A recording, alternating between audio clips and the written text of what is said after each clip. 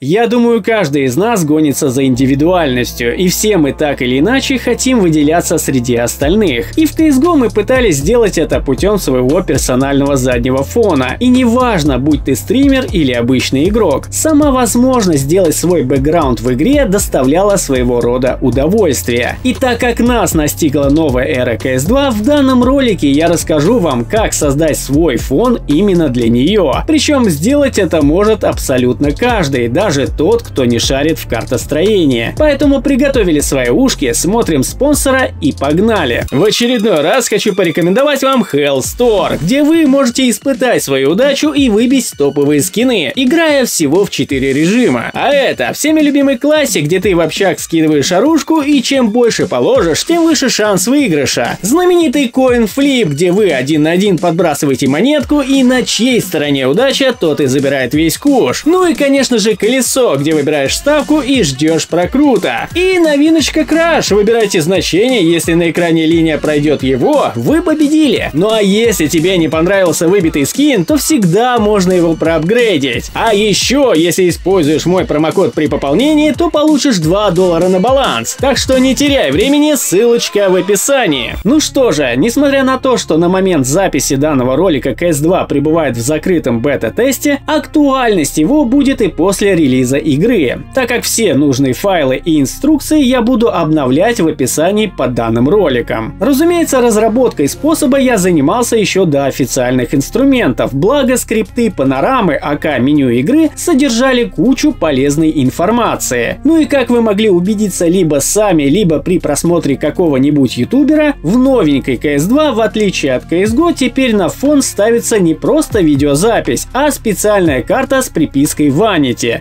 дает нам кучу возможностей для кастомизации заднего фона. Для примера я портировал часть карты из игры Portal 2. И вы сами, глядя на экран, можете убедиться, что теперь возможностей у задника стало намного больше. Например, осмотр персонажа я могу переместить на любой участок карты. Или вообще создать отдельную комнату для любого вида осмотра. Плюс для пущей красоты можно еще и накидать анимированных моделей. Но, к сожалению, терпения у меня не так-то много, и я компилировал карту на low настройках. И не сильно-то парился, чтобы перерисовать текстуры под нынешний движок, чтобы показать вам прям всю прелесть графония. Но все равно скачать данный пример вы можете по ссылке в описании. И да, версию данного задника я буду потихоньку обновлять. Так что захаживайте на этот ролик и проверяйте дату обновления. Но давайте все же переходить к сути. Я сделал два варианта для создания